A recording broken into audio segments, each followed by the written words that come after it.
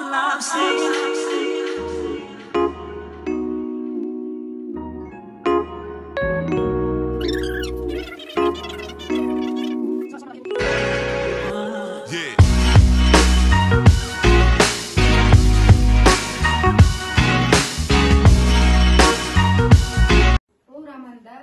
mahabbat joyinda отан отанға сүйіспеншілік адал достық адамгершілік ауызбіршілік ата анаға және жас үлкендерге құрмет. Мол жылдар кітабы қашан роман болып шықты? Қай жылы? Махаббат қызық мол жылдар кітабы мың тоғыз жүз жетпісінші жылы роман болып шықты. Бұл романның кейіпкерлері кімдер? Кім жауап Фатима? романның кейіпкерлері негізгі кейіпкерлері ә, ербол ә, меңтай ә, тағы да? тағы да. Салима Шыға- шығармадағы ербол кейіпкерімізге сипаттама беріңіз.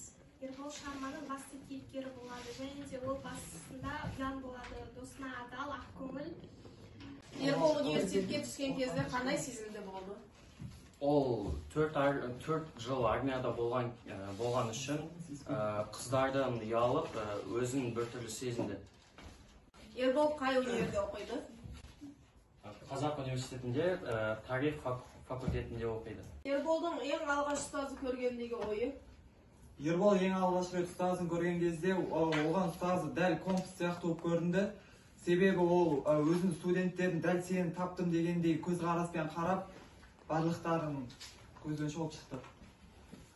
Ербол соғыстан кейін қыздарға сөйлеуге неге ұялды Ә, ербол соғыстан кейін қыздарға сөйлей алмады. Себебі ә, соғыста төрт жыл болған соң ә, қыздармен сөйлесуге мүмкіндік болған жоқ. Ә, ұялшақ болды. Неге ербол соғыстан кейін оқу орнын дұрыс оқи алмады?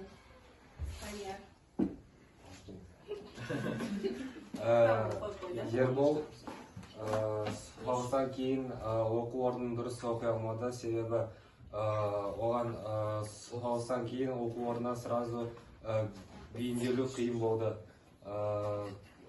Қаламға және қарындашқа қолының икемі келген жоқ.